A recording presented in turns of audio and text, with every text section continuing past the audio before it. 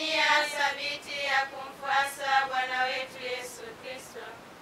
Na kusikia amri zake, mafundisho ya